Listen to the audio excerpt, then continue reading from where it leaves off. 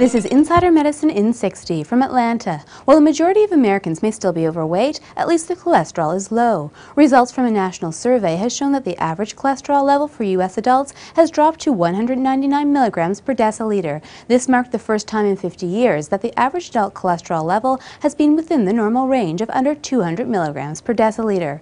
From Pennsylvania, drug giant Merck has announced a recall of 1.2 million doses of a commonly prescribed children's vaccination. The recall of both PedvaxHIB and Comvax was ordered after quality control checks found that the production equipment may not have been properly sterilized. Both vaccinations are designed to protect against Haemophilus influenza type B, the most common cause of bacterial meningitis in children under 5. And finally from New York, scientists have eased the debilitating symptoms of muscular dystrophy in mice by injecting modified stem cells from humans. After treatment, the mice showed stronger muscles and ran longer on the treadmill than other diseased mice.